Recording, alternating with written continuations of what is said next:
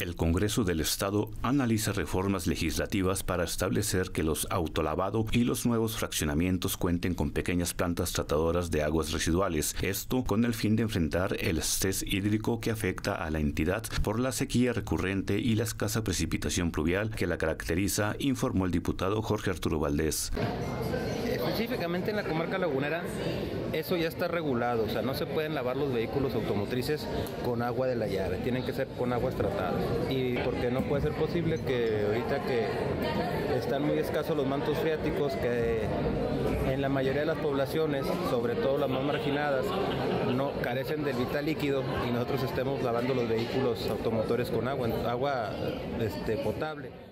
El presidente de la Comisión de Medio Ambiente señaló que en Torreón cada negocio de autolavado opera con pequeñas plantas tratadoras y se plantea llevar la disposición a nivel estatal, así como también hacerlo obligatorio para los nuevos fraccionamientos, puesto que ahora existen tecnologías más accesibles para reciclar el líquido. Yo estoy trabajando, es una ley de...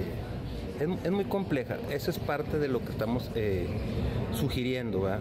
Eh, que no puede existir un fraccionamiento con un área verde de 3.000 metros y que, y que la estén regando con agua de la llave. Es un crimen.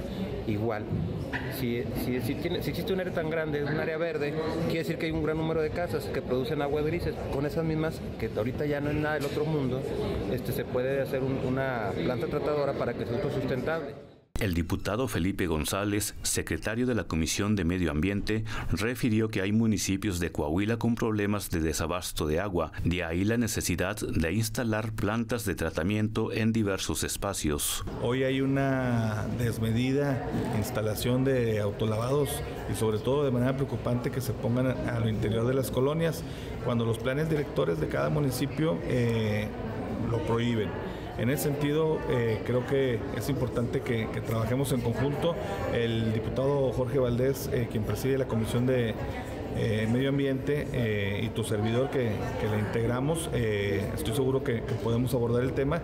Esta semana, Aguas de Saltillo planteó que los negocios de autolavado instalen pequeñas plantas tratadoras, lo mismo que los nuevos fraccionamientos, dado que la región enfrenta estrés hídrico por las escasas lluvias.